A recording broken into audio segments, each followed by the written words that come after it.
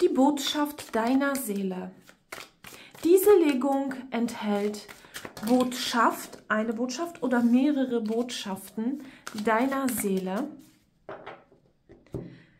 Sonnige Grüße schicke ich dir. Es freut mich sehr, dass du jetzt hier bei mir bist, dass du zu mir gefunden hast, beziehungsweise, dass deine Seele dich zu mir geführt hat. Denn hier warten auf dich Botschaften, vielleicht eine, vielleicht mehrere Botschaften. Schau einfach, inwieweit du mit dieser Legung in Resonanz äh, gehen kannst. Und ähm, heute kommen wie fast immer Tarotkarten zum Einsatz und natürlich auch die Orakelkarten. Und die Karten sind sehr schnell schon da. Deine Seele ist heute sehr gesprächig, beziehungsweise es ist irgendetwas Wichtiges, ja, was sie dir denn mitteilen möchte. Und hier habe ich die fünf der Stäbe, den Pagen der Münzen, die fünf der Münzen, die Kraft und den Gehängten. Das können zum Beispiel ähm, Sachen sein, die momentan in deinem Leben da sind, ähm, die vorherrschend sind, irgendwelche Themenfelder bei dir im Leben und deine Seele möchte dir zu diesen Themenfeldern einfach etwas mitteilen, ja, oder vielleicht äh, dir zeigen, wie, wie geht das Ganze aus, wie wird sich das Ganze entwickeln? Und ja, du kannst meinen Kanal abonnieren, du kannst liken, du kannst mir aber auch einen Kommentar schreiben, würde mich sehr, sehr freuen, wenn du hier dazu irgendetwas sagen könntest, ja, zum Beispiel Feedback, damit ich sehe, okay, okay, ähm, ich erreiche hier mit meiner Legung einige Menschen, vielleicht auch dich, ja, würde mich sehr freuen, wenn du mir zum Beispiel kurz schreibst, ja, ich bin in Resonanz gegangen oder ja, das war mein Thema. Vielen lieben Dank hier an dieser Stelle dafür. Die fünf der Stäbe, das, da zeigt dir deine Seele eine Herausforderung, ja, etwas wird Energie brauchen, ähm, aber diese Energie, sie wird am Ende äh, vielleicht sogar zu dir zurückkommen oder diese Energie wird eingesetzt für dich. Ja, nicht für jemand anderen, sondern für dich, für deine vielleicht auch persönliche Entwicklung, damit du etwas sehen, erleben kannst, was ähm, dich vielleicht aus deiner Komfortzone heraus katapultiert oder heraus ja, herauszerrt, könnte man hier auch so sagen. Einfach die, die Horizonte können erweitert werden. Du könntest zum Beispiel auch ein Stück weiter hier kommen, wenn du dich hier bete dran beteiligst, wenn du ähm, da mitmachst, wenn du überhaupt was machst, ja. Weil ich habe hier die Stäbe und das ist hier eine Energie, die auf irgendetwas gerichtet wird und zwar direkt. Ja, direkt strahlt sie da drauf und das kannst du alleine machen, vielleicht aber auch in einer Gruppe von Menschen. Es könnte auch eine Herausforderung sein äh, in Bezug auf irgendwelche Menschen oder einen Menschen oder mehrere Menschen. Eine, Menschen, eine kleine Menschengruppe kann das hier auch so sein. Das muss nicht unbedingt sein, dass du gegen diese Menschen bist oder irgendwie sowas.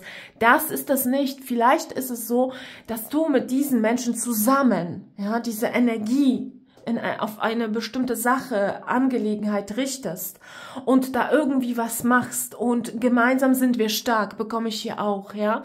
Aber wenn du alleine bist, ganz alleine, trotzdem, das dient dir, ja. Das wird im Endeffekt, wirst du irgendwie mehr wissen, mehr können, etwas auf jeden Fall erreicht haben, definitiv. Und da werde ich noch eine Karte dazu nehmen. Na gut, da wollen zwei mit, dann muss ich die zwei nehmen, ja. Ähm, und dann habe ich hier, ja, die drei der Schwerter und die zwei der Münzen.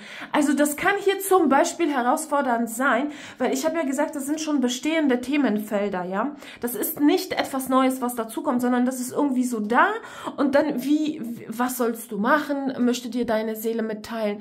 Und ich habe das hier so, dass du irgendeinen Herzschmerz verarbeiten wirst, ja. Und dadurch, dass du diesen Herzschmerz verarbeitest, also ich meine hier so seelisch, emotional, ja, und ähm, also jemand hat dich zum Beispiel äh, verletzt oder jemand hat dich verlassen, ja, es kann so in diese Richtung gehen mit den drei der Schwerter. Da wirst du das überwinden können und kommst wieder in deine Leichtigkeit. Das möchte dir deine Seele hier an erster Stelle mitteilen.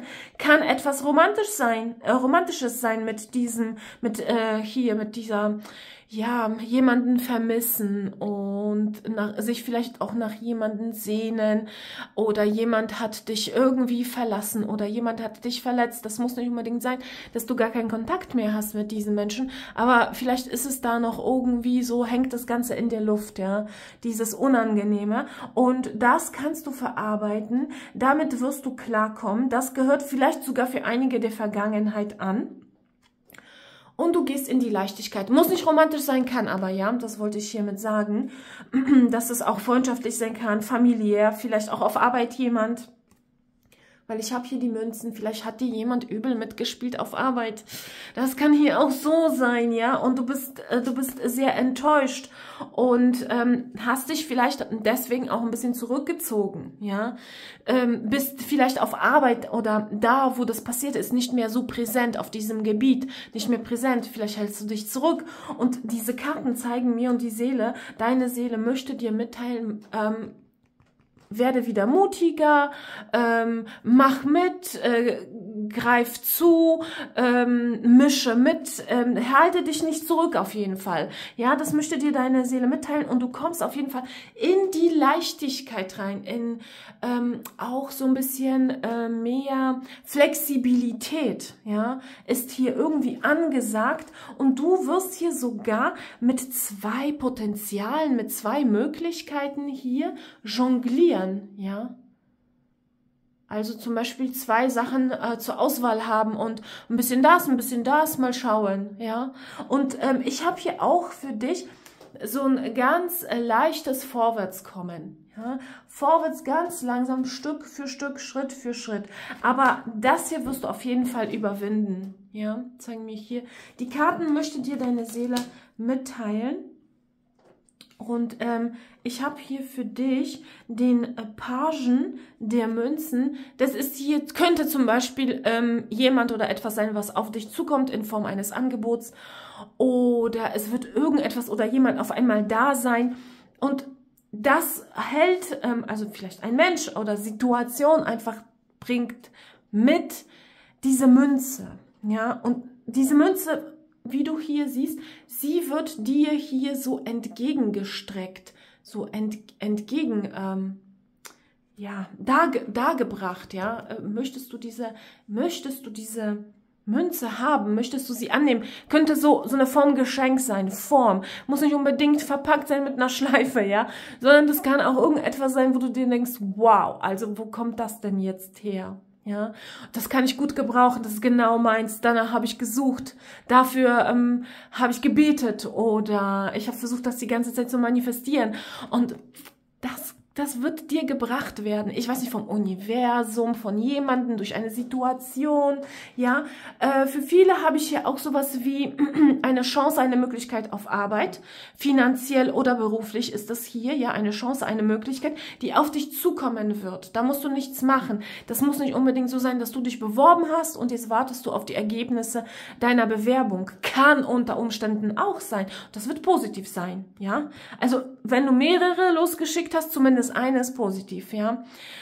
Ähm, aber nee, so meine ich das nicht. Ich meine das irgendwie, dass das so von alleine auf dich zukommt. Dass das dir wirklich angeboten wird. Dass das nicht ähm, hier jetzt so, du, du suchst und bist verzweifelt auf der Suche und du findest nichts, sondern du suchst nicht mal und du findest, ja. Du musst nicht suchen und du wirst finden. Sowas habe ich hier für dich. Ähm, dir könnte jemand irgendwie was geben, was du gut gebrauchen kannst oder äh, vielleicht eine finanzielle Zuwendung, Nachzahlung, Rückzahlung, Rückerstattung, kann hier auch sowas sein. Und äh, damit, damit kommt, kommt gleich hier, ja, ähm, damit kommt gleich hier der Erfolg ins Spiel. Die sechs der Stäbe. Erfolgreich. Guck mal, du hast hier die fünf der Stäbe und dann hast du hier die sechs der Stäbe. Also deine Seele möchte dir auf jeden Fall hier mitteilen, dass du Erfolg haben wirst, dass du erfolgreich sein wirst. Vielleicht auf Arbeit, vielleicht finanziell, vielleicht beides gleich. Ich habe hier auch Freundschaften und eine Eroberung. Du, du könnt, dir könnte irgendwie, ich habe hier so einen ja, Geniestreich. Ja, das könnte dir gelingen. Du könntest da ähm, irgendetwas erreichen, was so nicht einfach zu erreichen ist, aber dir gelingt es, ja? Sowas habe ich hier auch für dich. Romantisch ist es hier nicht. Also das hier hat nichts mit der Liebe zu tun. Der Erfolg liegt hier im finanziellen, im beruflichen, im freundschaftlichen, kann auch so sein, ja. Ähm, oder halt ähm, so wenn du, wenn du irgendetwas machst in einem Verein, ähm, Hobby, ja, in diese Richtung geht es. Romantisch habe ich das überhaupt nicht, ja. Also, damit es, damit du das weißt. Also, wenn romantisch, dann hier, dann das hier, die erste Reihe, ja. Ähm, dass es eher geht in die materielle Richtung. Nicht in gefühlvolle Richtung, sondern hier geht es in die materielle Richtung. Und ähm, ja, da wirst du auf jeden Fall Erfolg haben, erfolgreich sein, oben auf sein, auf jeden Fall Erfolgswelle reiten und zwar definitiv. Und da kommt, dadurch kommt auf dich so viel zu, so viel Fülle. Fülle. Reichtum kann auch sein, ja, vielleicht bei dem einen mehr, bei dem anderen weniger. Reichtum ist relativ, je nachdem, was du, was du als Reichtum äh, bezeichnest, ja. Zum Beispiel manche Menschen bezeichnen ähm, eine große Familie als Reichtum oder äh, Wissen als Reichtum, ja. Das muss nicht unbedingt immer das Geld sein, kann aber hier auch Geld sein, ja. Oder, oder einfach äh, beruflicher Erfolg. Vielleicht einfach aufsteigen, ja, die Karriereleiter so ein bisschen hochklettern. Für einige habe ich das hier, vielleicht auch für dich, ja. Das ist eine allgemeine Legung, deswegen sage ich immer so vielleicht, weil ich, ähm, ich sehe hier sehr viele Sachen und es ist eher unwahrscheinlich, dass all diese Sachen auf dich zutreffen werden, ja, komplett alles zusammen. Aber so einiges schon, ja. Und ähm, ich möchte noch für dich ähm, hier ein, zwei Orakelkarten ziehen.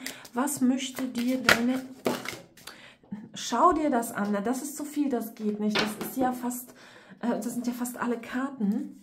Sind irgendwelche umgedrehten hier? Nein, aber die nehme ich, weil die liegt alleine. Und dann nehme ich noch eine. Was möchte dir deine Seele mitteilen? Der Frühling, der Frühling ist da. Also irgendetwas ähm, Bemerkenswertes, ähm, Spannendes, Starkes, Großes, ähm, aber gut. Sehr gut liegt das hier, ja. Wird im Frühling sich ereignen. Möchte dir deine Seele jetzt schon mitteilen, ja. Also deine Seele teilt es mir, äh, teilt es mir und damit auch dir jetzt schon, dass im Frühling etwas ganz, ganz Großes und Starkes ähm, auf dich zukommen wird. Etwas, was sehr viel Potenzial hat, ja. Und äh, da geht es in, äh, um Entwicklung, um Wachstum, um Aufblühen, um äh, Keimen, ja, also neu, also Keime sprießen, also Wurzeln, ja, und dann aus, aus, aus, diesem, aus diesem Samen wird ein, ähm, eine schöne Pflanze und dann im Herbst kannst du ernten. So in diese Richtung geht das, ja. Und kann sein, dass es direkt mit den ähm, Jahreszeiten etwas zu tun hat. Ansonsten, ansonsten würde dir deine Seele hier das nicht so direkt mitteilen mit hier mit Primavera, also mit dem Frühling, ja. Also irgendetwas wird im Frühling richtig losgehen bei dir, aber positiv, schön, aufblühen, Potenzial ähm, ausschöpfen dann, wenn du möchtest, ja. Etwas wird beginnen. Ich, ich habe hier einen Beginn für dich. Neubeginn, ja. Und dann habe ich hier Träume, Fantasie. Okay, also du wirst etwas vielleicht in der kommenden Zeit, vielleicht auch in der Vollmondzeit, weil hier im Hintergrund ist der Vollmond, ähm, wirst du vielleicht hier so ein bisschen träumen, träumerisch sein. Oder du sollst träumen, weil Träume können in Erfüllung gehen. Äh, deine Seele braucht hier Input, wird mir hier gesagt. Deine Seele braucht Nahrung. Und das können zum Beispiel deine Träumereien sein, deine Wünsche, was du dir so vorstellst. Stell dir was Schönes vor, ja. Das, das ist immer besser, wenn man sich was ganz, ganz Tolles vorstellt. Ähm, vielleicht aber auch äh, so etwas Fantasievolles sehen. Äh, vielleicht Fantasieromane lesen oder so fantasievolle Filme schauen. Das könnte hier so sein. Und ähm, dann, dann, dann kann deine Seele vielleicht so ein bisschen baumeln, sich erholen, so ein bisschen ähm, etwas, ähm, ja, Verschnaufspause für die Seele bekomme ich hier. Soll ich jemanden sagen, braucht unbedingt etwas Schönes, etwas Angenehmes, äh, weg von dieser, vielleicht bei dem einen oder anderen, ja, ja, harten Realität, ja. So ein bisschen ähm, Flucht, äh, in, in die Gedankenwelt, aber sich da nicht verlieren, sondern einfach nur so eine Verschnaufspause. Wie gesagt, durch irgendetwas Schönes, Angenehmes, ja was einen vielleicht in eine andere Welt ähm, katapultiert, so durch Sehen oder Lesen oder Hören, vielleicht ein Hörbuch, ja, so was Fantasievolles, Schönes, Angenehmes. Das braucht deine Seele, das teilt sie hier mir mit, ja. Oder einfach, wie gesagt, Träumereien. Einfach träumen, sich hinlegen oder hinsetzen, nach draußen schauen, vielleicht sich einen Baum angucken oder Blätter oder vielleicht was anderes, was Schönes, ein Himmel, ja, und so ein bisschen träumen, ein bisschen dem Ganzen, der harten Realität entfliehen, ja. Ähm, die fünf der Münzen, das ist ein Mangel. Irgendwo ist ein Mangel da. Die Seele zeigt mir einen Mangel an. Zu wenig, zu wenig von. Vielleicht aber auch gar nichts. Ich schau mal. Zu wenig, gar nichts. Oh, zu wenig. Oh, oh, oh, oh. Da, okay. Okay, Rat des Schicksals, schau dir das an. Ähm, ich habe das hier so, bei dir ist irgendwo äh, in deinem Leben Mangel, ein Mangel, äh, zu, zu wenig. Zu wenig kann Liebe sein, zu wenig Geld, zu wenig Zuneigung, zu wenig Freunde oder zu wenig Familie, also zu wenig Zeit mit der Familie verbringen können, zu wenig Zeit mit den Freunden verbringen können zum Beispiel oder ähm, du wünschst dir mehr Familie oder du wünschst dir mehr Freunde, du wünschst dir mehr, äh, vielleicht, vielleicht wünschst du dir auch mehr Ruhe, ja, das kann auch so sein. Ähm, also an, an irgendetwas mangelt's dir, du hast von irgendetwas zu wenig, ja. Ich habe hier was Besonderes für dich, was ganz Besonderes und auf der Uhr war 17, 17, krass. Ähm, ja, da kommt etwas auf dich zu, was diesen Mangel ähm, wegmachen wird. Sagen wir mal so. Ja, der Mangel wird weggemacht werden durch die Kraft des Schicksals. Äh, das Rad des Schicksals dreht sich für dich aus dem Mangel in die Verbesserung, vielleicht nicht komplett in die totale Fülle, ja, in den totalen Überfluss, komplett alles voll. Das meine ich nicht, aber vielleicht bei dem einen oder anderen schon. Das ist eine allgemeine Legung, das kann so weit gehen, das Rad des Schicksals kann sich wirklich so drehen, aber ich habe das hier auch so ein bisschen, also in die Verbesserung, dass da mehr reinkommt, dass da vielleicht, ähm, ich sehe so eine Schüssel, weil hier hält man ja auch so eine Schüssel in der Hand, dass diese Schüssel ist leer und die wird ein bisschen gefüllt werden werden, ja. Bei, bei manchen wird diese Schüssel einfach überquellen, ja. Das ist hier so. Aber das ist etwas Schicksalhaftes. Etwas, was so sein muss. Dieser Mangel, dieser extreme Mangel muss verschwinden. Und der wird auch verschwinden hier. Das ist einfach so, wenn du irgendwo zu wenig hast, ja. In jedem Bereich kann das sein. Vielleicht schreibst du mir das in, den, in die Kommentare, dass bei dir schon ein Mangel äh, da ist. Ja, musst nicht unbedingt schreiben, wo. Aber wenn du möchtest, wenn es geht, ähm, geht, ja, dann kannst du mir das auch schreiben. Und ähm, ja, das ist ähm, Wendung des Schicksals. Das könnte man auch so sehen, ja. Wendung im Schicksal, Wendung des Schicksals, ja, Schicksalswendung. Ich weiß nicht, ob sowas überhaupt gibt, dieses Wort, aber in diese Richtung geht es. Ich, ich hoffe, du kannst mich verstehen.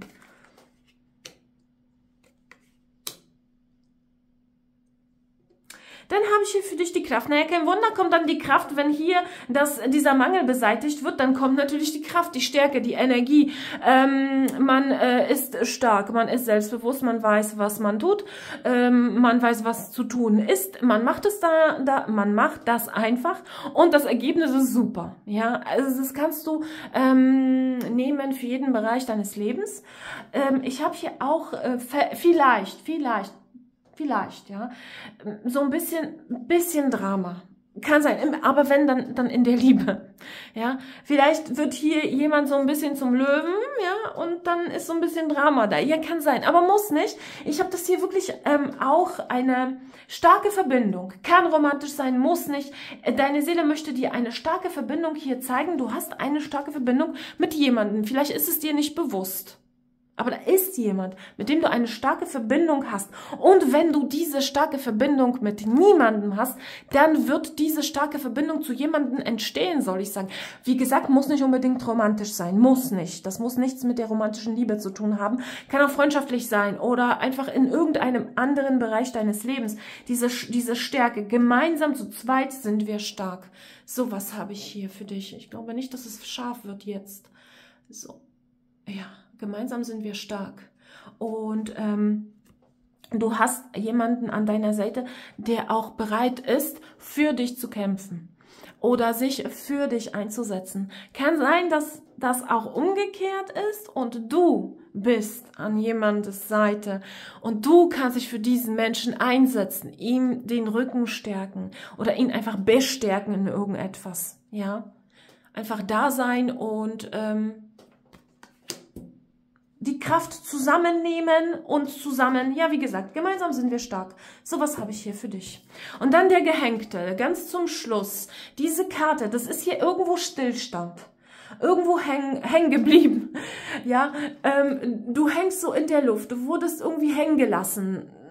Ja, durch vielleicht irgendetwas oder irgendjemanden. Und du hängst da rum und du weißt nicht, kommt dieser Mensch nochmal wieder? Werde ich hier losgemacht werden? Äh, wird mich jemand hier so ein bisschen befreien? Oder äh, soll ich das jetzt selber tun? Oder vielleicht gefällt dir sogar diese, diese Haltung und du denkst dir, ach, ein bisschen, bisschen rumbaumeln hier, die Seele baumeln lassen, kann hier auch so in diese Richtung gehen. Aber für die meisten ist es einfach hier so nichts machen können, weil die äußeren Umstände so sind. Das, das ist in einem bestimmten Bereich deines Lebens so eine Blockade, vielleicht durch irgendjemanden ver, ähm, hervorgerufen, kann aber auch so sein, dass das irgendwie so ist. Ja, muss nicht unbedingt jemand schuld dran sein.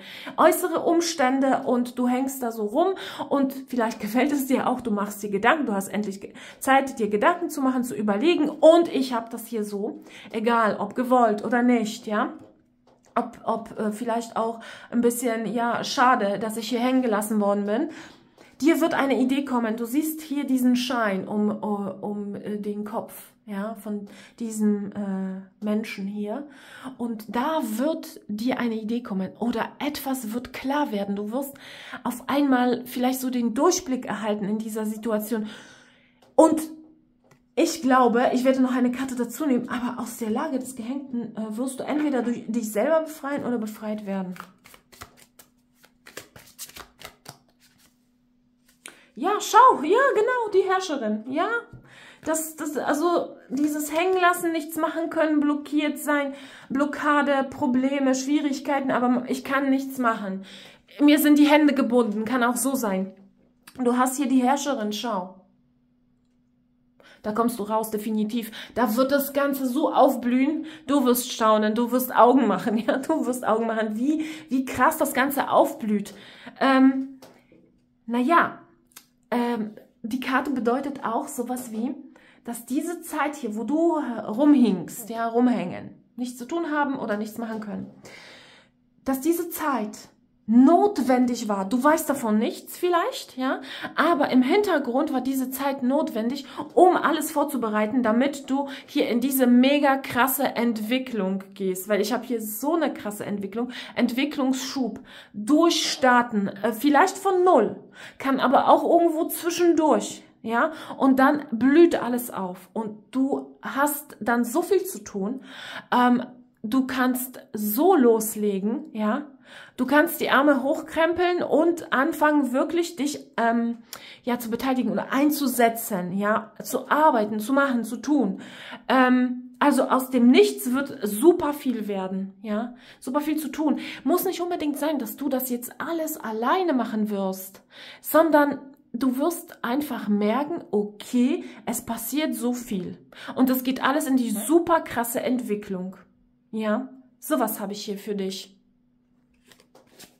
Das wollte dir deine Seele mitteilen. Ganz am, am Ende, vielleicht, ähm, also wenn du dran geblieben äh, bist, dann ist das hier definitiv für dich. Ja, diese, diese Info definitiv für dich. Und äh, ja, ich bin jetzt am Ende dieser Legung. Vielen lieben Dank, dass du hier warst, dass du bis zum Schluss dran geblieben bist. Vielleicht bis zum nächsten Mal. Ich wünsche dir alles, alles Liebe. Namaste.